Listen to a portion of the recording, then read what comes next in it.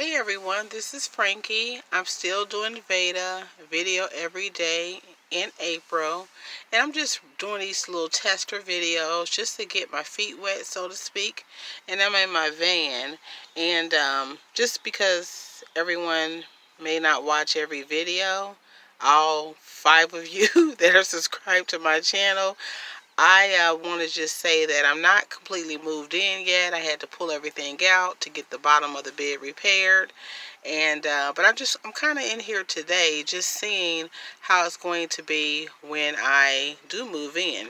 This is a snack tray that I got from a... Um, a thrift store and it actually came as a set and um, I'm just sitting in here typing on my laptop and uh, I want to see if it's how is it going to be? And I think I want this table, the snack tray, a little lower. It does fold up and I can put it under my bed. I have so much storage under this bed for crates. It probably doesn't look like it, but there it goes. It's really deep inside of this storage.